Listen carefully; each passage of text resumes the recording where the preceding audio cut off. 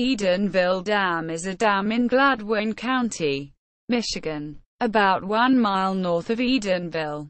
The dam lies mostly in the southeast corner of Tobacco Township in Gladwin County, but its most southeastern end reaches into the northeastern corner of Edenville Township in Midland County. The earthen gravity dam was completed in 1925 for hydroelectric power and for flood control.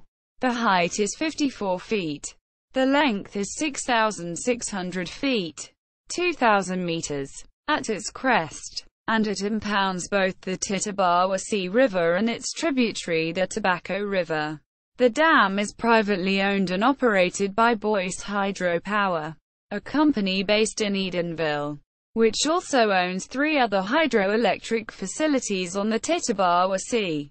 The Secord, Smallwood, and Sanford Dams. The reservoir it creates, Lake Wixom, has a normal surface area of 5.7 square miles, a shoreline of more than 84 miles, a maximum capacity of 66,200 acre-feet, 81,700,000 cubic meters, and a normal capacity of 36,000 acre-feet, 44 million cubic meters.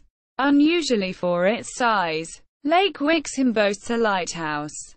References